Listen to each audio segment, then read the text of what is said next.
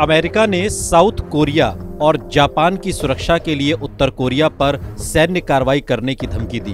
तो अब north Korea ने इस धमकी का जवाब अपने अंदाज में दिया है।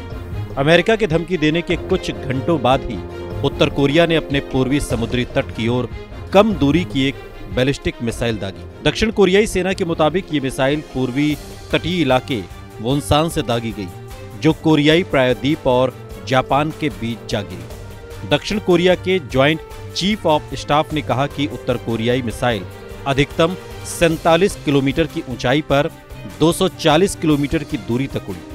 उन्होंने कहा कि मिसाइल दागना कोरियाई प्रायद्वीप की शांति और सुरक्षा को नुकसान पहुँचाने और भड़काने वाली कार्रवाई है। दक्षिण कोरिया, अमेरिका और जापान की सेनाओं ने इसकी निंदा करते हुए कहा कि ये कदम क्षेत्रीय स्थिरता के सामने खतरा पैदा करता है।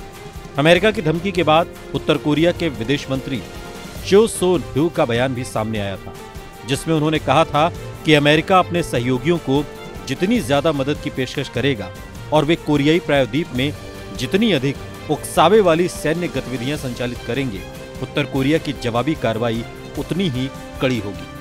उत्तर कोरिया के इस मिसाइल लॉन्च के बाद अमेरिका और उसके बीच तनाव और बढ़ गया है।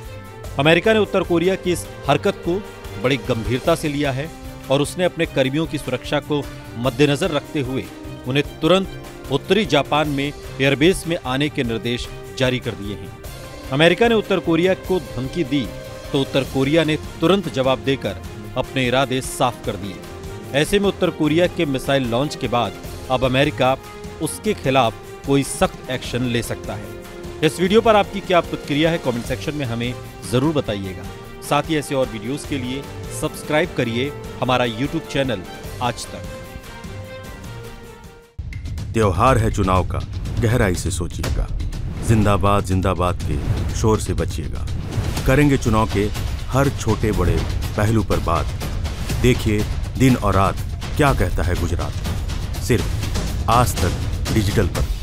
सोशल मीडिया पर लिखिए हैशटैग क्या कहता है गुजरात। और देखिए हमारे ये शो।